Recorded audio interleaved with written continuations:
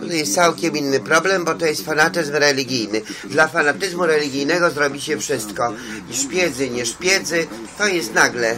Nie przewidzisz. To wynika z fanatyzmu religijnego. Ale ten fanatyzm też się tworzy w jakiś sposób. A się tworzy, bo to jest psychologia tłumu i teraz nie wiadomo, czy nie dojdzie nie, przedwcześnie do zniszczenia religii. To też się indoktrynuje na przykład młodzież, która to młodzież nie ma pracy. I tylko świadkowie Jehowy mówili o zniszczeniu Babilonu Wielkiego, bo tu chodziło o to, o rozszyfrowanie, czym jest ten Babilon Wielki w Biblii. I to proroctwo sugeruje religię wszechświatową wszędzie i powiedzą, że z powodu religii tyle przelewu krwi, morderstw, zakazujemy religii, kto jakiegoś krzyż podniesie, czy co, kula w łeb. I tak będzie. A w jakiej formie też nikt tego nie przewidzi. Bo to jest postanowienie samego Boga. Tak, ale jakby młodzież, obserwuje prawda, drugie, trzecie pokolenie Stereo, muzułmańskich. w związku z tym zmienić Ja- swoje chodziła postępowanie, do szkoły ideę. no, niezbyt, takie pracę. Nie generuje Nie ma młodzieży, teraz rodzi się stare malutkie. E, e, e, 5 lat ma już, już go zabije, zabijać uczą. Nie ma, ty myślisz starymi kategoriami. Ma 5 lat, uczą go już zabijać. Nie ma młodzież, nie ma stary, nie ma malutki. Nie ma kobiety, nie ma mężczyzny. Jeszcze raz ci tłumaczę, jak chłopunem jest. Nie ma tego, co było. I w sekundzie dlatego mogą cię zniszczyć. O, nawet o, profesor dostał łeb. głęboko, nie wystarczająco w mojej opinii zmieniło sposób myślenia polityków, którzy czasami jeszcze marzą, żeby coś... co Właśnie tak robi szatan.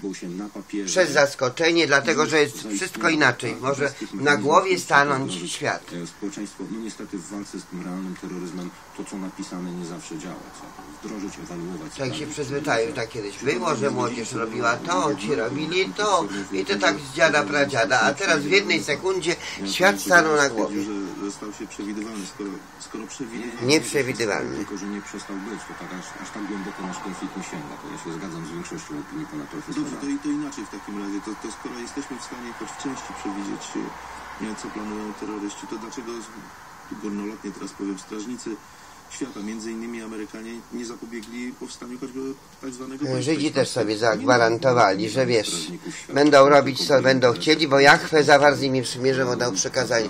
I myśleli, że będą robić co będą chcieli, ale już mają gwarancję, bo sobie ustabilizowali życie, ułożyli na, na czynienie zła, a to przecież Bóg Jachwę łaskę zrobił, oni tego nie pojęli.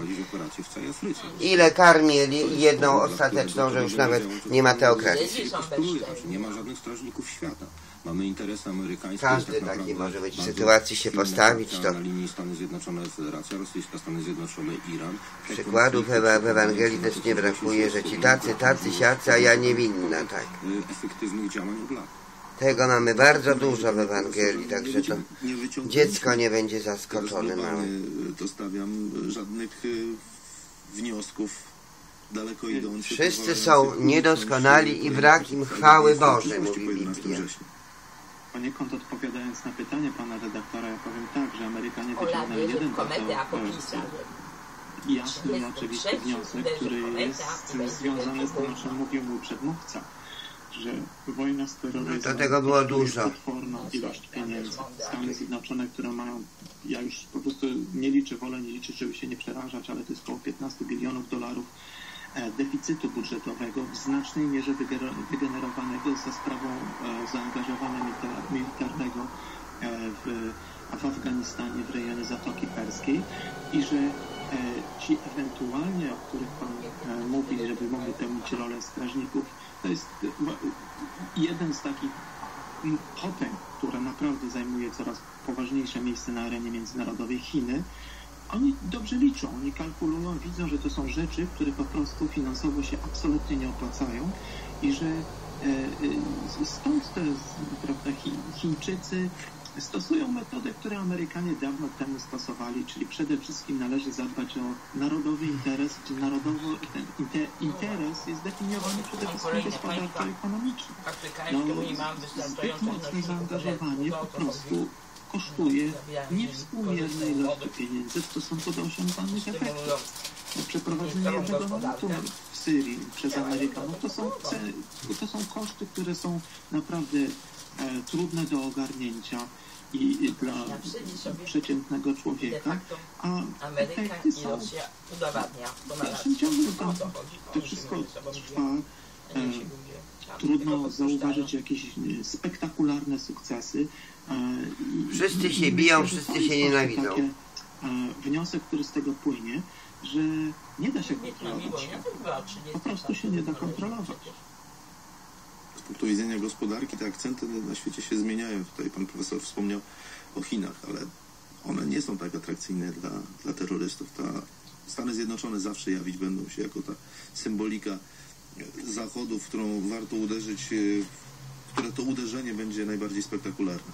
Unikam e, słowa zawsze, bo to, to się na przestrzeni lat oczywiście zmienia, natomiast rzeczywiście Stany Zjednoczone są takim Czasem coś, który- co nie jest spektakularne, może być nagle spektakularne. Też trzecia Rzesza to nikt nie wiedział, że dzięki Kościołowi katolickiemu doszła do, do władzy. Przede wszystkim doszła pozycjonujemy kogoś jako światowego e, żandarma, no to światowy rzezimieszek musi nawiązać jakikolwiek e, konflikt, jakąkolwiek walkę.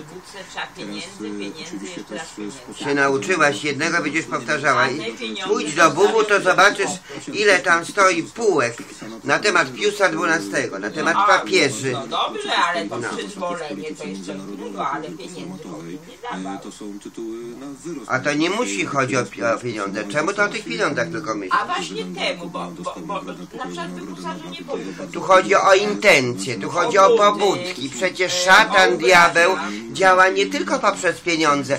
Głównie szatan, diabeł, pieniądze tylko ktoś może dać potem. Szatan, diabeł, jakie są twoje intencje? Człowiek, który odchodzi od Boga, który, dla, dla którego Bóg nie ma wartości. To mi- między innymi też i u Arabów takich pełno się znalazło.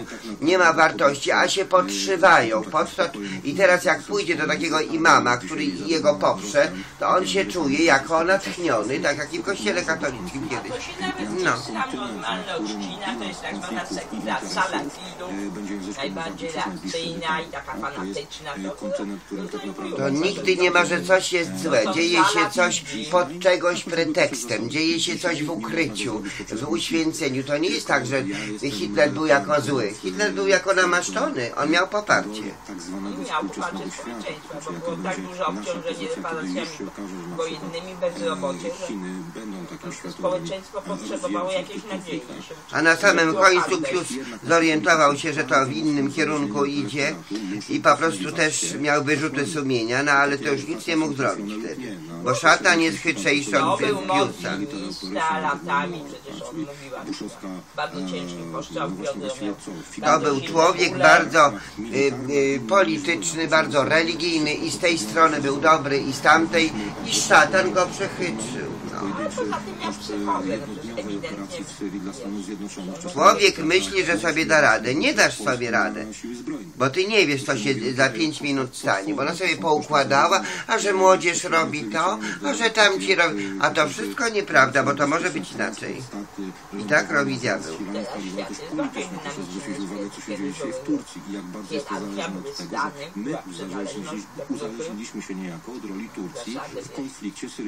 Są filmy Konkol wśród pszenicy. Też świadkowie mówią, że jak w vlogu jakaś baba wrzeszczy, to znaczy, że musi być owieczka. Proszę się nie przerażać tym.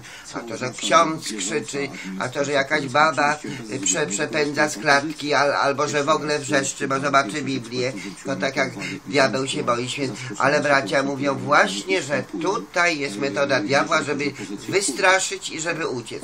Nie dać się.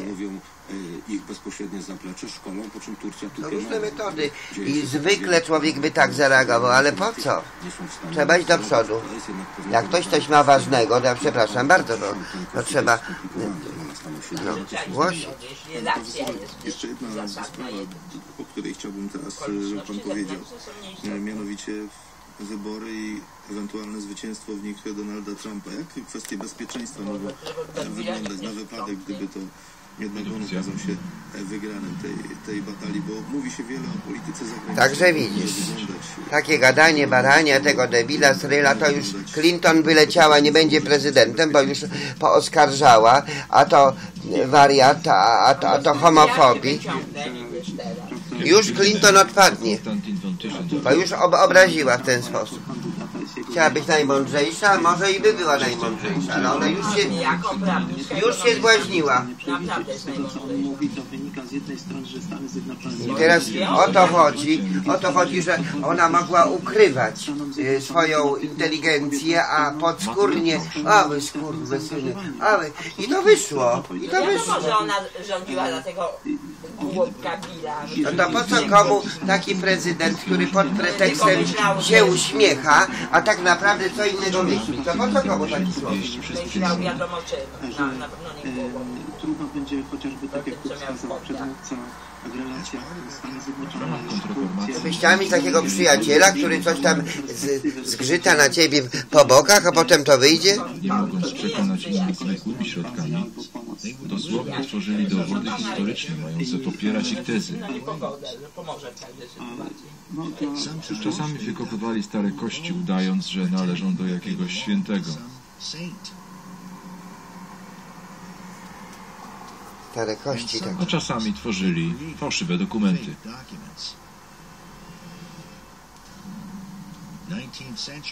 XIX-wieczny brytyjski historyk Thomas Carlyle stwierdził, że jezuityzm zatruł źródła prawdy na całym świecie. Lecz na długo przed utworzeniem zakonu jezuitów Rzym praktykował fałszerstwo i oszustwo. W jakim celu dopuszczano się tych fałszerstw? Myślę, że chodziło o poparcie twierdzeń papieża o posiadaniu władzy absolutnej. Robiono wszystko, żeby je wzmocnić i dlatego się pojawiły. Być może najsłynniejszym fałszerstwem w długiej historii Kościoła Rzymskiego była donacja Konstantyna. Dokument potwierdzający, że cesarz Konstantyn Wielki podarował ziemię zachodniego Imperium Rzymskiego papieżowi jako zastępcy Syna Bożego.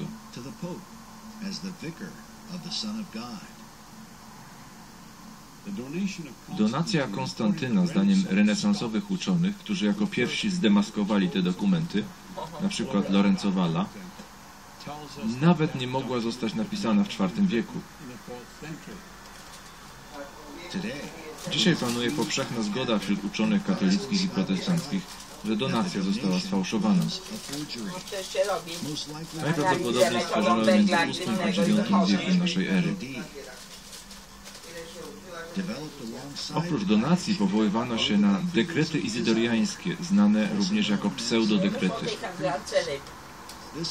To misterne fałszerstwo zawierało serię listów pisanych rzekomo przez ważne postacie historyczne Kościoła.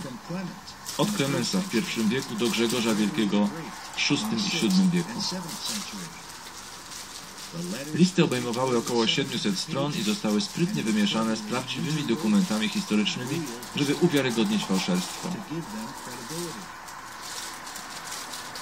Diabelski geniusz pseudodekretów polegał na zmieszaniu prawdy z kłamstwem, co zostało zrobione bardzo kunsztownie.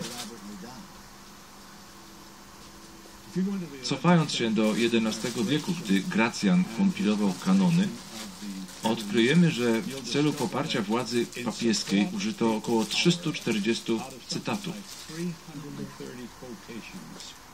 313 z nich pochodzi z owych fałszywych dokumentów.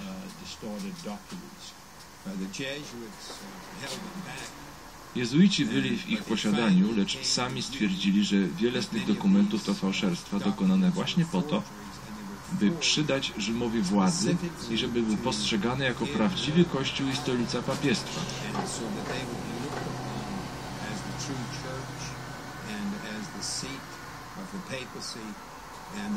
To wszystko było zapisane i popierane przez Kościół rzymski, mimo że dokumenty były fałszywe.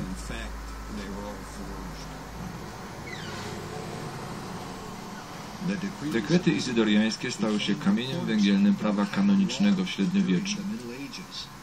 Były używane do oszukiwania Kościoła przez ponad 600 lat, aż wreszcie zostały zdemaskowane przez kalwińskiego uczonego Davida Blandela w roku 1628.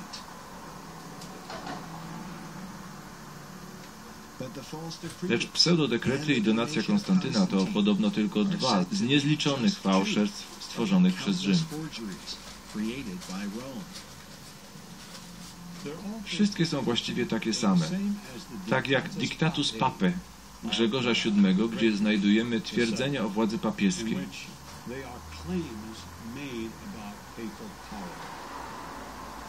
Papież Grzegorz VII był prawdopodobnie najbardziej notorycznym fałszerzem, co przyznają nawet katolicy historycy. W XI wieku sporządził swój dyktat, czyli listę papieskich przywilejów. W 27 punktach ogłosił m.in. Papież nie może być sądzony przez nikogo na ziemi. Kościół rzymski nigdy się nie mylił i nie może się mylić aż do końca czasów. Tylko papież może detronizować cesarzy i królów, a także zwalniać ich poddanych z okazywania im posłuszeństwa. Wszyscy władcy są zobowiązani całować jego stopy. do tego podchodzą jako do czegoś, że to diabeł tym sterował, a diabeł to ma kopyta i rogi. Dla poparcia tych pomysłów opierał się na sfałszowanych dokumentach z przeszłości. Aż takie śmieszne nie było, bo Ale sam postanowił pójść jeszcze dalej i stworzył własną historię Kościoła i świata. To było, e, to było całe środkowe Włochy, a wpływy Europę. W książce Zastępcy Chrystusa były ksiądz jezuita pisze o papieżu Grzegorzu VII i jego szkole fałszerzy. Partia MUE, ojczyzna, Przez siedem wieków Grecy nazywali Rzym domem fałszerstw. w czasach inkwizycji. Kiedykolwiek, gdy próbowali rozmawiać z Rzymem, papieże wyciągali na stół sfałszowane dokumenty, których Grecy nigdy oczywiście nie widzieli. Takie były czasy. Takie były czasy. Grzegorz posunął się o wiele dalej od donacji Konstantyna. Miał całą szkołę fałszerzy pod własnym nosem, produkujących jeden dokument za drugim z papieską pieczęcią zatwierdzającą, by zaspokoić każdą jego potrzebę. Jest, jest diabeł, jest. W innych pokładach siedzi. Nawet ty byś nie- nie wiedziała nigdy. Potem, dlaczego wszyscy są agresywni? To nie agresywni. Papież Grzegorz mógł potrzebować usprawiedliwienia jakichś działań wobec dowolnego władcy lub biskupa. Bardzo dobrze, w takiej sytuacji ci prałaci dosłownie produkowali stosowny dokument. Nie było trzeba szukać, wszystko było robione na zamówienie. Wiele wcześniejszych dokumentów modyfikowano, żeby mówiły coś przeciwnego niż jest gdzie oryginał. mieszkali ludzie, którzy w nic nie wierzyli, w żadną religię, byli bardzo pokojowo. Jest taka wyspa, to teraz tak właśnie to rozlazło. Ale ludzie się zastanawiali, skąd się to wzięło, że ci ludzie są tacy pokojowo usposobieni. Szczególnie, gdy fałszerstwa zostały wreszcie włączone do prawa kanonicznego. W ten sposób Że takie ewenementy się na świecie jeszcze odkrywa. Póki co, bo to już teraz to chyba nie ma no, nowości. A wszystko dokonało się na papierze. Propagowali oszustwa już dawno temu i uważam, że Amerykanie jeżdżą po całym świecie i się dziwią, rozglądają się, coś nowego. No i co nowego zobaczyła? Wszędzie zło. No to jak zobaczyli na wyspie, że tam coś takiego jest, po, pokojowe to, rządy mają, kontynuował swe Nic nie wierzą, współcześnie jest im dobrze. z końca XIX i z początku to tak jakby jakiś komunizm wtórny, nic nie wierzą. W roku 1873 Charles Spurgeon dokumentował, że w archiwum relikwii Różne rzeczy odkryto, ale to już bardzo dawno temu. produkowanie fałszywych relikwii i przedstawianie ich jako kości różnych świętych z przeszłości. Teraz będą kości, muszą sprawdzać, czy to, Czytamy, kości że już od roku jest 1828 A ten to proceder wszystko trwa. Kawałki kości owiec człowiek zajętych nie mógł tego sprawdzić. To chytrzejszy, to chytrzejszy był nawet od, od faraona kapłan, bo on musiał wiedzieć, kiedy zaćmienie słońca, a faraon musiał się tylko podporządkować. I tak kto mądrzejszy w danym momencie, kto mówi chytrzy. dalej, że jezuici grali ważną rolę w tych transakcjach, jak w większości katolickich afer.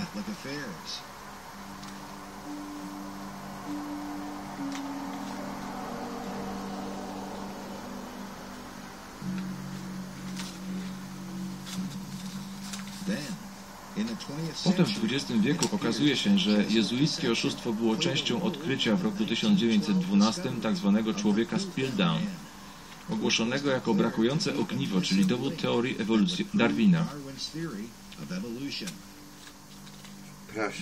Lecz po 40 latach od tego odkrycia okazało się, że Piltdown to oszustwo. Głównym jego sprawcą okazał się być Charles Dawson, brytyjski archeolog amator szukający sławy i chwały. To amator jeszcze. Szukała amatora. Dawson nie pracował sam. Jego pomocnikiem był ksiądz jezuita Teilhard de Chardin. Ksiądz jezuita. W roku 1980 profesor Uniwersytetu Harvard Janek. Witek miał przeciwko jezuitom. stwierdził, że de Tezy. Był w zmowie z Dawsonem, który pomógł mu w oszustwie z szkoły, mm, prawda, dla młodzieży szlacheckiej. Inny ksiądz jezuita, Georges Lemaitre, rozwinął tę ideę i sformułował teorię Wielkiego Wybuchu w roku byli, no, świetnymi 1931. misjonarzami, ale takimi mos- misjonarzami bojącymi. Mówi się, że żadna nauka nie była większym zagrożeniem dla wiary w Biblię od darwinowskiej teorii ewolucji. Czyżby to był przypadek, że sam Charles Darwin wydał dzieło o pochodzeniu gatunków w roku 1859, dokładnie wtedy, gdy Tischendorf odkrył kodeks synajski?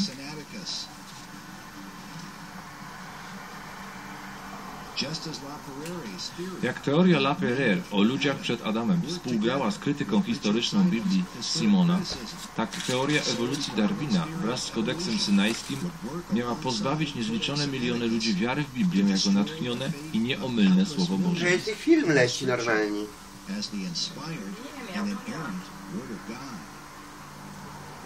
Setki filmów takich. Jak Należy wziąć pod uwagę, że od roku 1828 do 1912 Watykan i jezuici angażowali się w oszustwa, co zostało dowiedzione. To jest znaczące, ponieważ w tym okresie Tischendorf współpracował z Rzymem. No to nie. To samo oszustwa, jakieś głupoty.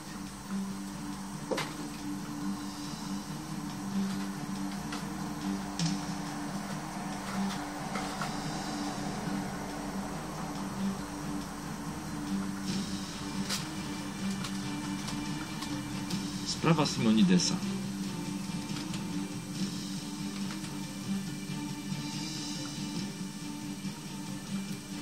Kiedyś religię traktowano bardzo poważnie. To takie te oszustwa, to, to się ksiądz przeciwstawić, to. Wiadomo, Po ujawnieniu kodeksu synajskiego przez Tischendorfa został on uznany za wielkiego uczonego i w całej Europie spływały na niego zaszczyty. Zdrowie, moi przyjaciele. Żeby wszyscy widzieli. pracy została ona podważona przez znanego eksperta w dziedzinie paleografii. Nazywał się Konstantin Simonides.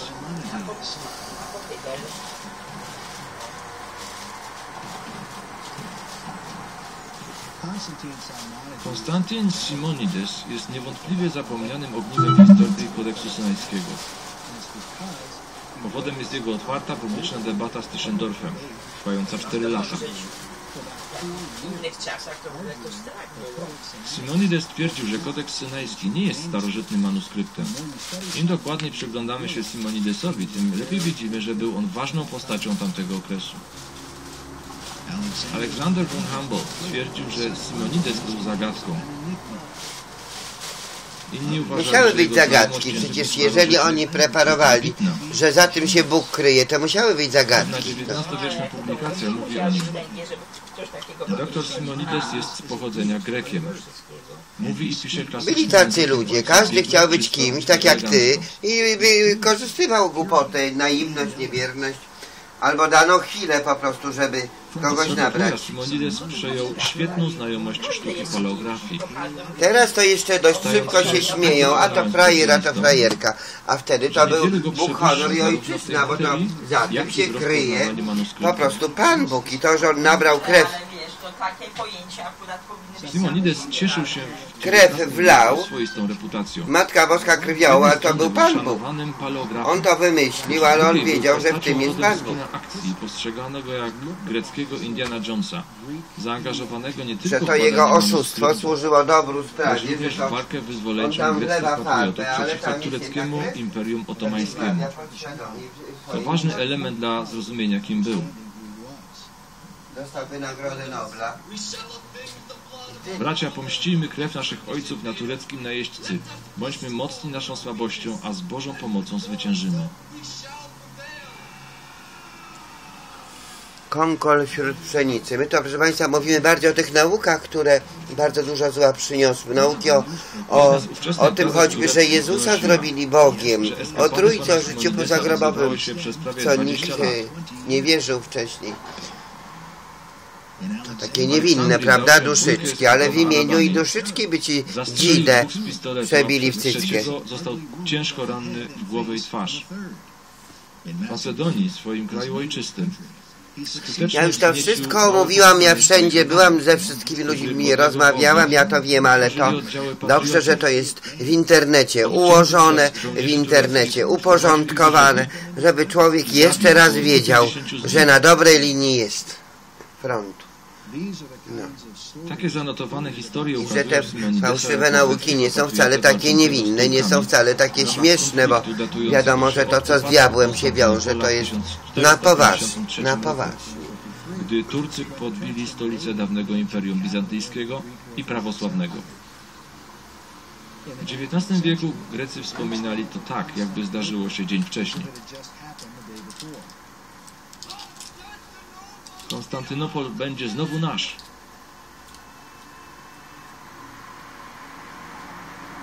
Simonides najwyraźniej angażował się w częste potyczki z Turkami i dysputy z łacinnikami, jak nazywał rzymskich katolików. Ponieważ zarówno Turcy, jak i Kościół rzymskokatolicki zwalczali prawosławnych Greków. Dla Simonidesa jedni i drudzy byli odwiecznymi wrogami. Jego konflikt z Rzymem w szczególności był ściśle związany z polemiką z Tischendorfem.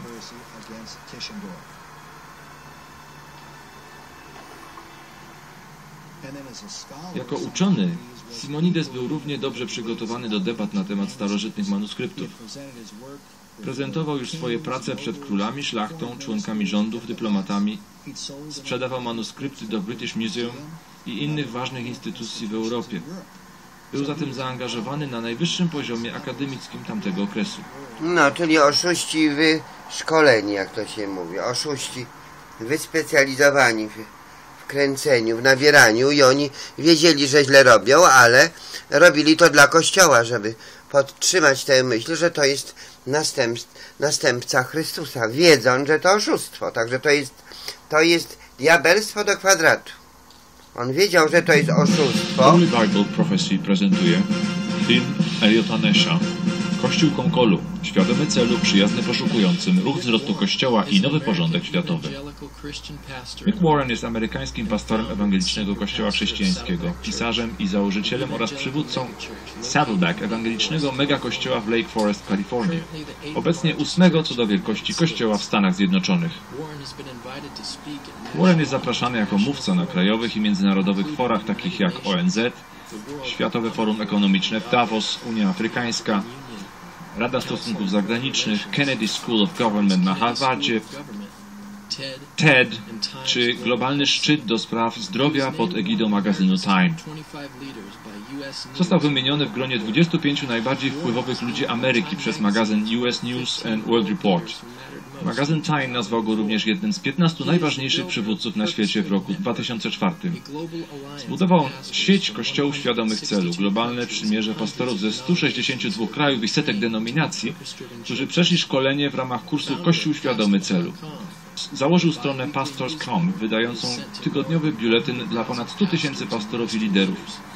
Napisał książkę Życie świadome celu, Według ankiety Instytutu Barny ta książka jest określana przez większość amerykańskich pastorów i liderów jako najważniejsza książka w ich życiu i służbie. Gdy napisałem książkę Życie świadome celu, a mówiliście o egoizmie, zdanie otwierające wstęp brzmi Nie chodzi o ciebie. To jest najbardziej kontrkulturowe zdanie, jakie można wypowiedzieć. To jest najlepiej sprzedawana książka anglojęzyczna w historii. Obok Biblii jest największym bestsellerem i jest najczęściej tłumaczoną książką obok Biblii na ponad 100 języków. Jako filantrop Rick Warren znacząco poprawia warunki życia ludzi na całym świecie w ramach swego planu PEACE i innych działań humanitarnych. To zmieni świat. Uważa się za prekursora nowej reformacji w Kościele. Ale na czym polega ta nowa reforma? Z powodu znaczących wpływów Ricka Warrena w skali globalnej, jego służba wymaga poważnego zbadania. Szczególnie, że zbiera wiele krytycznych uwag za głoszenie rozwodnionej, powierzchownej wersji Ewangelii Jezusa Chrystusa. W książce Życie świadome celu porównałem po prostu nauczanie Ricka Warrena z treścią Biblii. Linijka po linijce, werset po wersecie. Ta książka niepokoi mnie głównie ze względu na sposób, w jaki pomija Ewangelię. On ma pewien cel nauczania i jeśli nie może poprzeć go tekstem Biblii, odwołuje się do parafraz takich jak The Message. Tam i w innych parafrazach może znaleźć coś, czego chce nauczać. Czytając książkę widzimy, że używa mnóstwa przekładów Biblii i skacze od jednego do drugiego w zależności od tego, co chce wyczytać w biblijnym tekście. Używa tego, co pasuje do jego programu i w efekcie nie masz przekonania o grzechu słuchając Ricka Warrena. W książce Życie świadome celu na stronie 58 Warren w zasadzie głosi Ewangelię Uwierz i przyjmij. Pisze Już teraz Bóg zachęca Cię, abyś żył dla Jego chwały i realizował cele, dla których Cię stworzył. Prawdziwe życie zaczyna się w momencie, gdy całkowicie poświęcisz się Jezusowi Chrystusowi. Jeśli nie jesteś pewien, czy już to zrobiłeś, czy nie, to powinieneś po prostu go przyjąć i uwierzyć mu.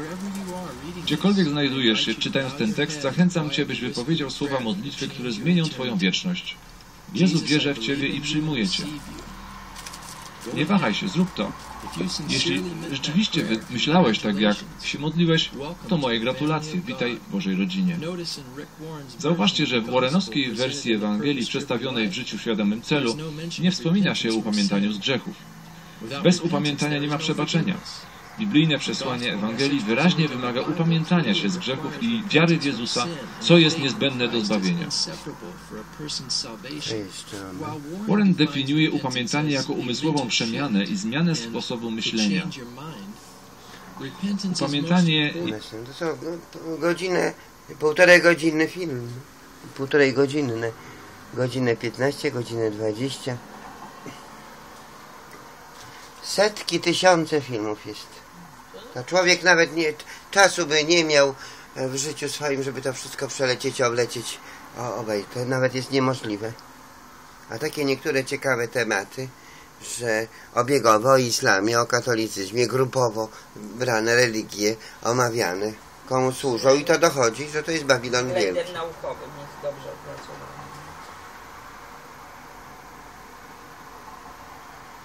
No na przykład jest prawdziwe oblicze Kościoła katolickiego. Sola Scriptura. Mientus Raimund.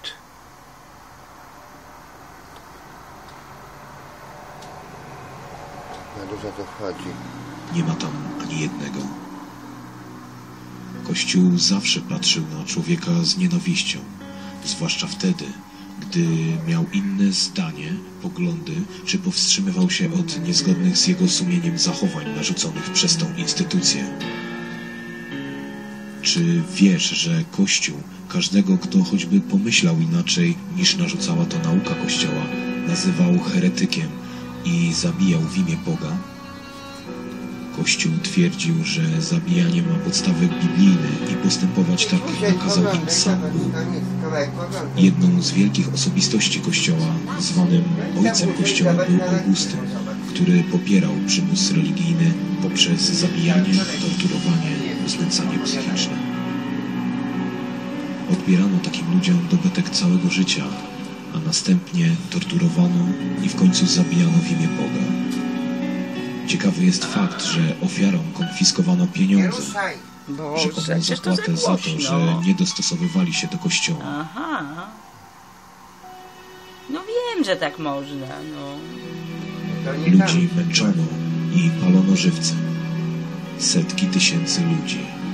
Wymyślono piece do palenia ludzi, różne narzędzia tortur, łamanie kręgosłupów kołem, przypalanie warg gorącym żelazem, miażdżenie kończyn, krzyżowe zrywanie ciała przez no to Kościół był propulsorem uczynek zrobiłaś nazizmu. Hitler nie wymyślił nowych sposobów znęcania się nad człowiekiem. A Hitler nie wymyślił nic z nowego. kościoła, świętej inkwizycji. Jak wymyślił Kościół katolicki. Hitler niczego Czy nowego nie wiesz, co wymyślił. wydarzyło się w kwietniu 966 roku? Kościół wprowadził chaos w całej Europie, mordował wszystkich, którzy mu się sprzeciwiali. Dotarł do Polski. Cóż więc miał zrobić Mieszko I, jak nie pozwolić na chrzest Polski, by ochronić ten kraj przed rzezią? Wiele krajów w Europie przyjęło tylko. chrzest, więc chcąc nawet zachować normalne stosunki między innymi państwami, chrzest był koniecznością. Chrzest był, czyli po prostu pod pretekstem ze strachu. Czy wiesz, że ostatni raz w Polsce Kościół zabił publicznie 14 osób w 1775 roku w Doruchowie koło Ostrzeszowa? Jest mapa pokazana, jest miejsce pokazane. W którym tam miejscu? Papieże każą całować ludziom swe stopy. Zgodnie Kościół usuwa drugie przykazanie Boże, dzieli dziesiąte na dwie części. No to ja powtarzam w kółko to samo, bo to przecież taka prawda. No, no, no. I ksiądz y, powiedział, że jest biologiem, wierzy, wierzy w rewolucję. No, nic z tego nie wynika. No a tutaj to już wojna, to już jest reperkusje dalsze. No i co? No i co? Ale to jest taki temat, prawdziwe oblicze Kościoła katolickiego, to więc y, temat jest bardzo odważny. A jak Niderlanda w XVII wieku, jak Rosja między Ho- Holandię protestancką a belgijską e, katolicką Belgię. O, proszę, palono na Hitler, Mussolini. Proszę bardzo. O tym, że Kościół z papieżem na czele wchodzili w układy z Hitlerem. O, z Hitlerem, każdy, proszę bardzo. kto zadał sobie trud przeczytania jakiejkolwiek książki na temat historii w tym temacie. Sympatie papieża Piusa XII do hitlerowców były dobrze znane. Zyskał nawet we Włoszech Nawet zło złem się mataczy, tak papieża. jak to ty teraz robisz. Za jego kadencji na korytarzach Watykanu słychać było język niemiecki. Gospodarstwo prowadziła Niemka, siostra Pasqualina Lechnert. Pius XII odżywiał się w kuchni niemieckiej. Modlił się o zwycięstwo Hitlera nad komunistyczną Rosją, błogosławił oddziały niemieckie, przyjmował na audiencji w Watykanie prohitlerowskich No dyktatorów. masz, o masz, dla kogo się modli? już na samym początku niemiecku, w niemieckiej kuchni jadł. Episkopat Niemiec pozytywnie ocenił faszyzację kraju w przeciwieństwie do bezbożnego komunizmu. Faszyzm miał dobre notowania w Watykanie. W tej przychylnej atmosferze podpisano konkordat 20 lipca 1933 roku. Watykan reprezentował wtedy późniejszy papież Pius XII. Czy wiesz, że w Wiedniu w 1938 roku w trakcie przyjęcia hitlerowców z m.in. biskupami austriackimi kardynał Theodor Initzer należał do pierwszych, którzy przywitali Hitlera pozdrowieniem nazistowskim? Nakazał we wszystkich kościołach zawiesić flagi ze swastyką i modlić się za dyktatora. Po nieudanym zamachu na Hitlera w listopadzie 1939 roku kardynał Faulhaber odprawił uroczystą mszę i wraz ze wszystkimi biskupami bawarskimi pogratulował Hitlerowi ocalenia. Pius XII również złożył gratulacje. Od początku swojego pontyfikatu Pius XII podkreślał, że Führer jest prawowitym przywódcą Niemców, a kto odmówi mu posłuszeństwa, Jako polityk, ale on to do końca tak myślę, Czy mi się wiesz, wydawało, że on się zorientował. Już w połowie sierpnia gówno on się 1939 zorientował. roku wiedział od swego nuncjusza w Berlinie o planowanej inwazji na Polskę. Jednak największą przysługę zbrodniarzom hitlerowskim, szczególnie z poznaku SS, Watykan oddał już po zakończeniu wojny, starając się uchronić ich od odpowiedzialności za zbrodnie wojenne i zbrodnie w obozach koncentracyjnych.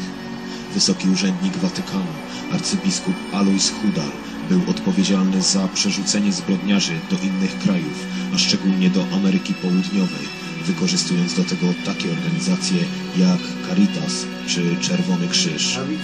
Widzisz, Caritas, dlaczego był wykorzystywany? A Ciekawy film, proszę.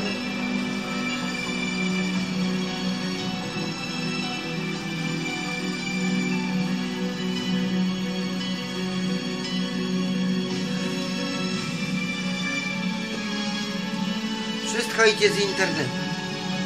Koniec części drugiej.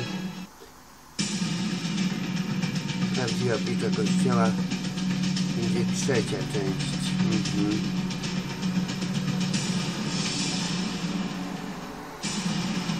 Celibat duchownych, 1015 rok wprowadzono celibat duchowny, dla duchownych. 1190 papież wpada na pomysł uzdrowienia 1190 prowadza sprzedaż odpustów od karczyścowych. No cuda pouświęcali, żeby no, chłopy musieli... To... Wynalezienie druku było dla Kościoła zbawieniem. Papieże wychwalali owo rzemiosło. Bardzo szybko władze Kościoła doszły w swym rozmowaniu do tego, że jeśli by kontrolować, co się drukuje i czyta, bardziej można uzależnić ludzi od Kościoła. Dlatego w 1515 roku podczas soboru uchwalono rozporządzenia dotyczące kontrolowania wydawnictw.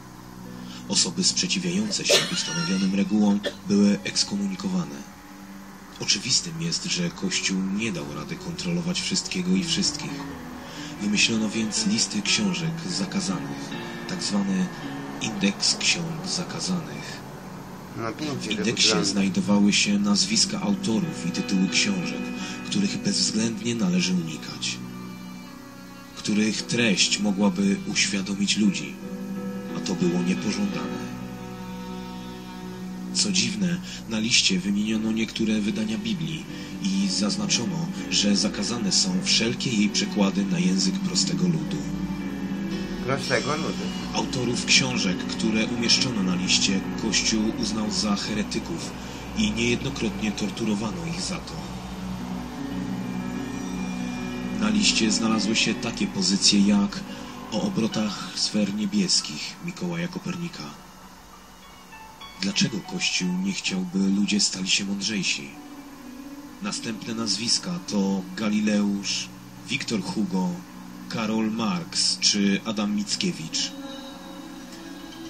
Jest jeden autor i jedna książka, której nigdy nie wpisano do indeksu ksiąg zakazanych. Mein Kampf Adolf Hitler 1378 dochodzi do wielkiego schizmy Kościół na dwa papieży, na dwóch papieży. 1370 spory nie dotyczą religii, ale polityki i władzy. No to, to. Diabeł szalał z wielką mocą. Teraz przestań. Wśród Kościół katolicki wymusza na swych wiernych różnego rodzaju zachowania, świadczące i podkreślające pozycję, władzę i słuszność Kościoła, co jest niezgodne ze Słowem Bożym. Przykład? Wtedy mówił Bóg wszystkie te słowa. Ja jestem Pan, Twój Bóg, który Cię wywiódł z ziemi egipskiej, z domu niewoli. Nie będziesz miał cudzych bogów obok mnie. Nie będziesz czynił żadnej rzeźby, ani żadnego obrazu tego, Pokazują co jest na papieża, niebie Matkę wysoko, Boską, ani dobra. tego, co jest na ziemi nisko, ani tego, co jest w wodach pod ziemią. Nie będziesz oddawał im pokłonu i nie będziesz im służył. A tu obrazy święte poka... Na to odrzekł mu Jezus: Idź precz, szatanie. Jest bowiem napisane: Panu Bogu swemu będziesz oddawał pokłon Przy okazji Jezus, że się Bogiem nie nazywał, a oni z Niego zrobili. I z Matki Boskiej. Ja, któremu na imię jest chwały Jahwe. mojej nie odstąpię innemu, ani czci mojej bożką. To wcale nie też świadkowie tutaj to, co to prezentuje. waszym ojcem. Jeden bowiem jest ojciec wasz, ten w niebie.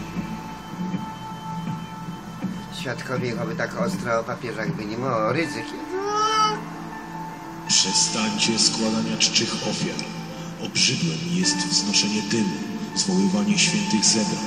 Nie mogę ścierpieć waszych świąt i I uroczystości. uroczystości, tak jest księdze Izajasza. Mhm. Daremnie mi jednak cześć oddają, głosząc nauki, które są nakazami ludzkimi. Nakazy ludzkie, właśnie. A Boże do śmietnika. Tak jak tu w Warszawie. Strzeżcie się uczonych w piśmie, Uczonych w piśmie. którzy z upodobaniem chodzą w powłóczystych szatach, Powłóczystych lubią szatach. pozdrowienia na rynku, pierwsze krzesła w synagogach i zaszczytne miejsca na ucztach. Wszystko z Ewangelii. Objadają domy wdów i dla pozoru długo się modlą.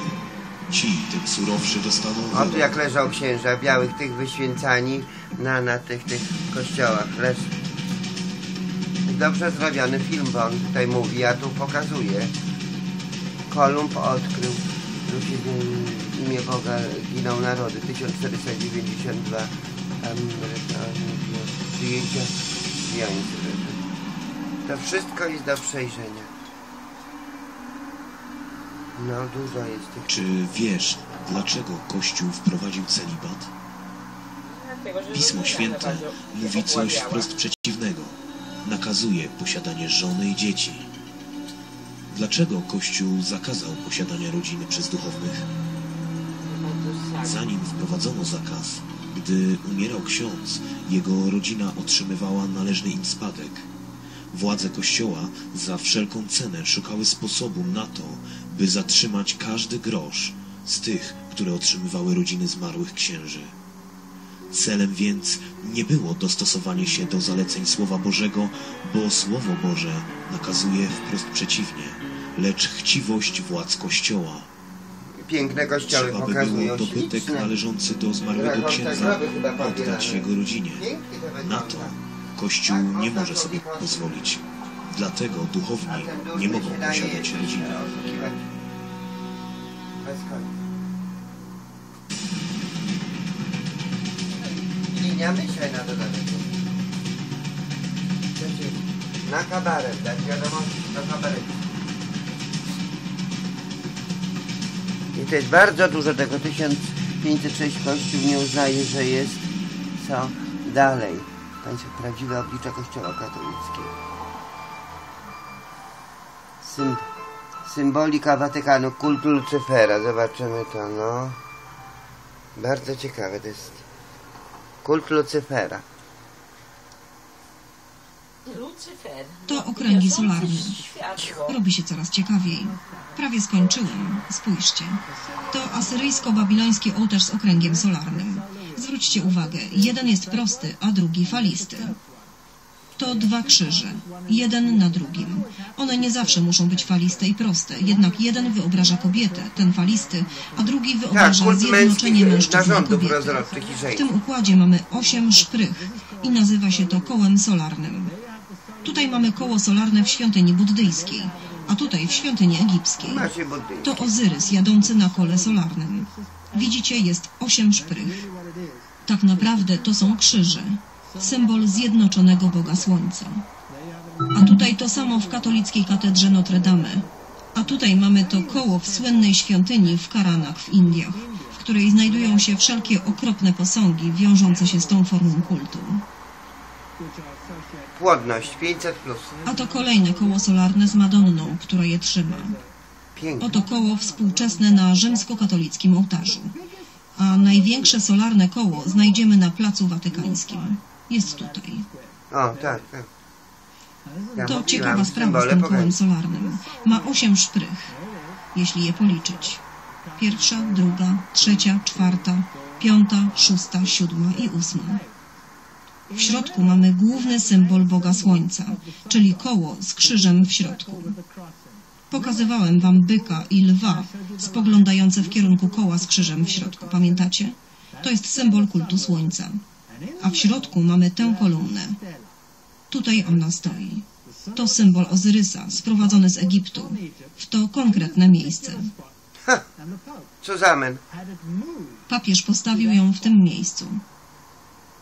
Rozkazał, aby ustawić ją z największą ostrożnością. Ogłosił, że jeśli podczas przenoszenia kolumny na to miejsce robotnicy pozwolą jej upaść i rozbić się, to wszyscy zostaną skazani na karę śmierci. Sporo czasu upłynęło, zanim znalazł się ktoś, kto podołał zadaniu. Ostatecznie udało się i wzniesiono ją. Ciekawe jest to, że mamy to ogromne koło solarne i mamy koło wpisane w koło. Mamy koło w środku większego koła. Tron Boży w księdze Ezechiela 10 rozdziale jest opisany jako koło wpisane w koło. Rydwan Boży w ruchu. Ale to A co oto innego tron znaczy? innego bóstwa jest ukazany jako koło w kole.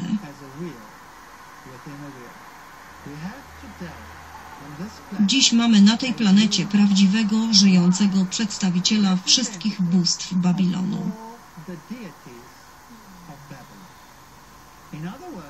Innymi słowy, można prześledzić na podstawie historii cały rodowód stroju tytułu Pontifex Maximus.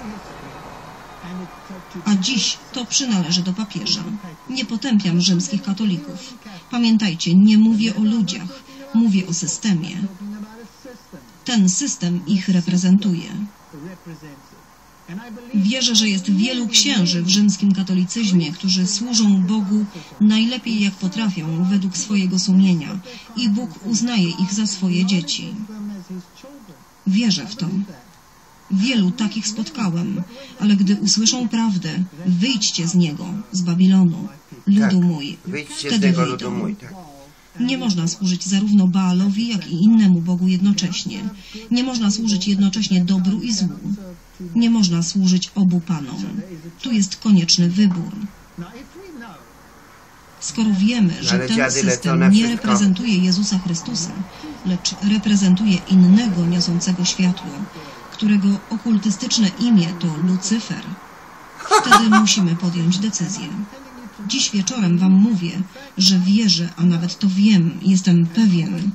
Ujmijmy to w ten sposób, że w najwyższych kręgach i w wewnętrznych ruchach sekretnych towarzystw będących w środku tego systemu, wszyscy oni dokładnie wiedzą, komu oddają cześć. Dowiodę tego podczas następnego spotkania. Na ekranie wyświetlę cytaty określające z imienia bóstwo, które oni czczą.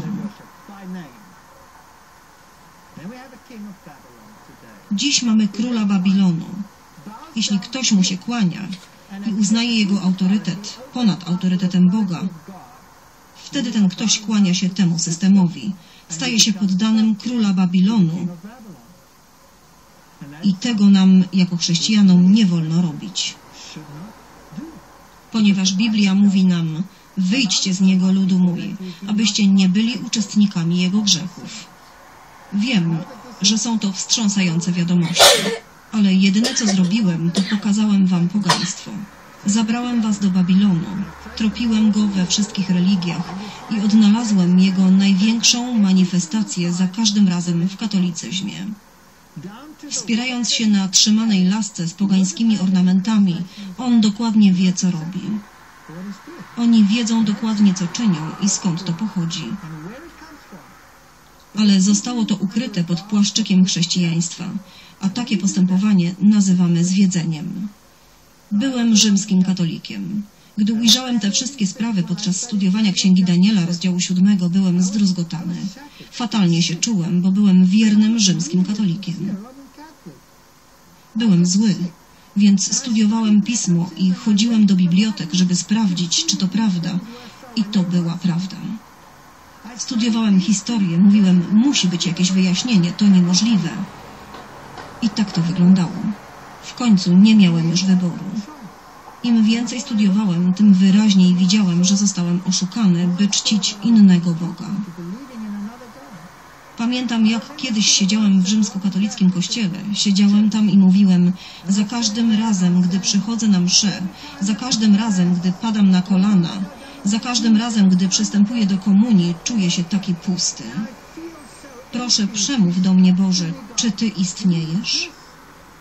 I tak siedziałem w tym kościele i mówiłem, Boże, jeśli jesteś, proszę, odkryj siebie dla mnie.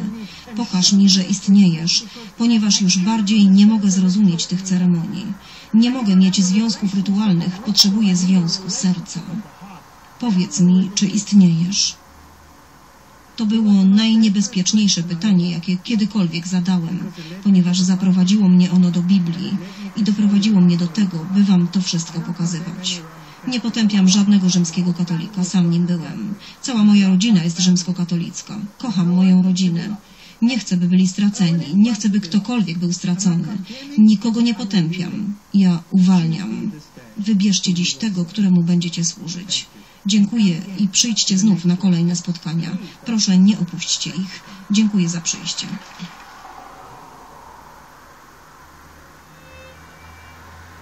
Tłumaczyła Anna Tomaszewska.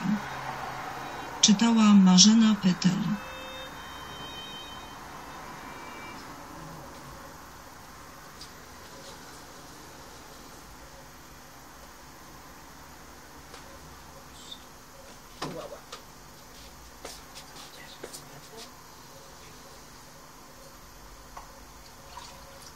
Mamy ciekawostki.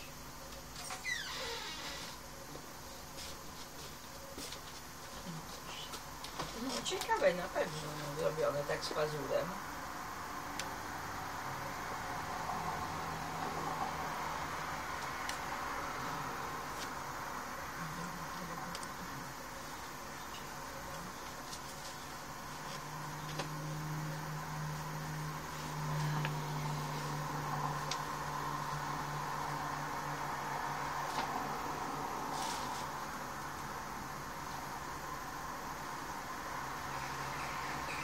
Czy papież Franciszek jest fałszywym prorokiem?